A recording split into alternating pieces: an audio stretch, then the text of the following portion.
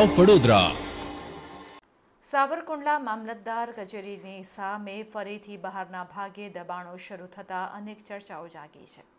Senior citizen પાર્કની બહાર ટ્રાફિકને અડચણરૂપ છત્રી અને ટેબલ રાખી અને તેની બાજુમાં ઓટલા પર તેમજ બાપા સીતારામ ઝેરોક્સની બાજુના બહારના ભાગે ટેબલ રાખીને વેપલો કરતા તસવીરમાં નજરે પડી રહ્યા છે.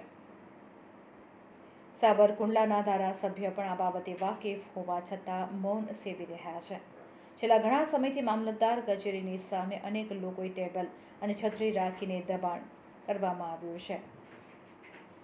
કટ. છેલ્લા ઘણા સમયથી મામલતદાર કચેરીની સામે અનેક લોકોએ ટેબલ અને છત્રી રાખીને દબાણ કર્યું છે, જેના પગલે સાબરકુંડલામાં યોગેશ ઉનટકટ દ્વારા ઉચ્ચ કક્ષાએ રજૂઆત કરવામાં આવી હતી, પરંતુ થોડા સમય માટે આ દબાણ દૂર કરવામાં આવ્યું હતું. અને આજે ફરીથી મામલતદાર કચેરીની સામે પાછા ટેબલો અને છત્રી નાખીને અમુક લોકો તસવીરમાં નજરે પડી રહ્યા છે. ત્યારે ખુદ બહાર બેસવા માટે મામલતદારનો પૂરતો સપોર્ટ હોવાનું લોકમુખે ચર્ચાઈ રહ્યું છે.